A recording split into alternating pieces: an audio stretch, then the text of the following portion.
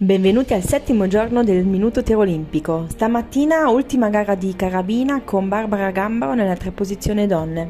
La storia di Barbara non è quella dell'enfant prodige, ma piuttosto rappresenta la storia di tanti atleti italiani, ma con un finale leggermente diverso. Dopo un paio di anni nella nazionale junior non è riuscito inizialmente a fare il salto nella squadra senior, ma lei ci credeva e ha investito 5 anni di allenamenti e sudore per riconquistarsi un posto nella nazionale. Mentre si prende un master in comunicazione e mass media diventa un elemento fisso della squadra in preparazione olimpica e alla fine ce la fa. Ha gareggiato a queste Olimpiadi con le aspirazioni di entrare in finale e anche se non è riuscita, forse quel sogno che aveva la ragazza di 18 anni oggi è arrivato a una conclusione, indipendentemente dal risultato.